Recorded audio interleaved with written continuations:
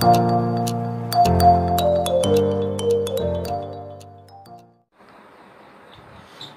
welcome back to my channel MBA unplugged నా పేరు నవాస్ మేము ఈరోజు మార్కెటింగ్ సబ్జెక్ట్లోని కన్జ్యూమర్ బయింగ్ ప్రాసెస్ గురించి తెలుసుకుందాం. ఈ కన్జ్యూమర్ బయింగ్ ప్రాసెస్ అనేది ఫైవ్ డిఫరెంట్ స్టెప్స్ ద్వారా ఎక్స్ప్లెయిన్ చేయబోతున్నాం అనమాట first step of process is need or problem recognisation దీన్ని ఒక కింద ఉన్న ఒక ఎగ్జాంపుల్ ద్వారా ఎక్స్ప్లెయిన్ చేయడం జరుగుతుంది.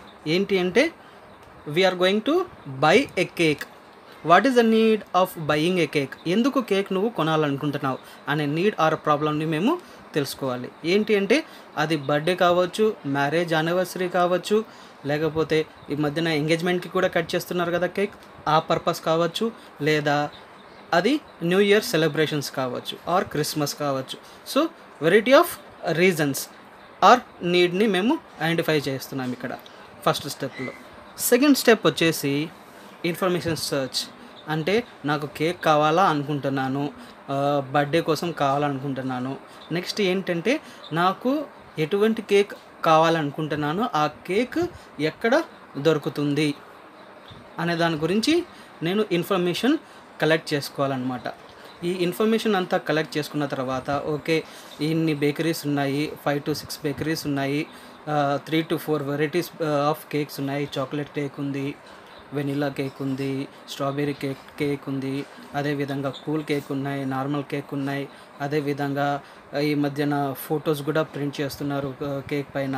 ఆ వెరైటీస్ ఉన్నాయి. సో ఏది ఎక్కడ అనే దాని గురించి సెకండ్ వన్ ఇన్ఫర్మేషన్ని మేము సెర్చ్ చేస్తాం అనమాట థర్డ్ స్టెప్ స్టెప్లో ఈ five six different varieties of cake అనుకుంటున్నాము.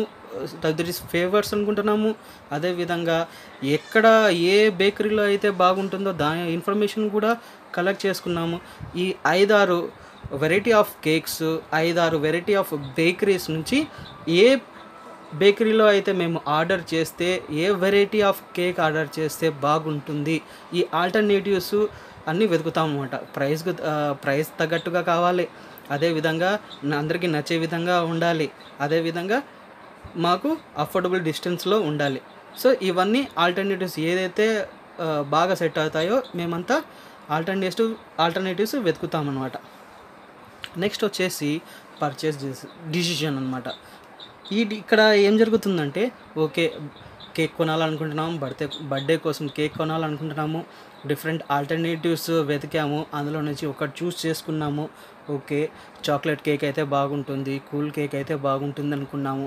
అదేవిధంగా బర్త్డే ఒక ఫోటో కూడా దాని మీద బర్త్డే కేక్ మీద ఉండాలనుకుంటున్నాము. ఇది ఒక డిసిషన్ అనమాట తీసుకున్నాం అనమాట దాని గురించి బర్త్డే కేక్ గురించి. నెక్స్ట్ వచ్చేసి లాస్ట్ వన్ ఏంటంటే పోస్ట్ పర్చేస్ ఎవాల్యుయేషన్ ఇది ఏంటంటే ఓకే మేము ఒక బేకరీ నుంచి మాకు కావాల్సిన chocolate cool cake that photo ఉన్న ఫోటో ఉన్నట్టుగా చూసుకొని చూస్ చేసుకున్నాము మేము.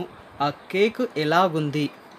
మరి ఇంకొకసారి ఏమన్నా అవసరం పడితే ఆ కేక్ తీసుకోవచ్చా? ఆ బేకరీకి వెళ్ళచ్చా? అనేది పోస్ట్ పర్చేస్ ఎవాల్యుయేషన్ అనమాట ఈ ప్రకారంగా ఒక బయింగ్ ప్రాసెస్ అనేది జరుగుతుంది. రైట్ ఫ్రమ్ స్టార్టింగ్ ఫన్ అవసరాన్ని తెలుసుకోవడం దగ్గర నుంచి ఆ కొన్న తర్వాత ఆ వస్తువు పర్ఫార్మెన్స్ ఎలా ఉంది? మాకు నచ్చిందా లేదా? ఇంకోసారి మేము దాన్ని కొనచ్చా? కొన కొనకూడదా?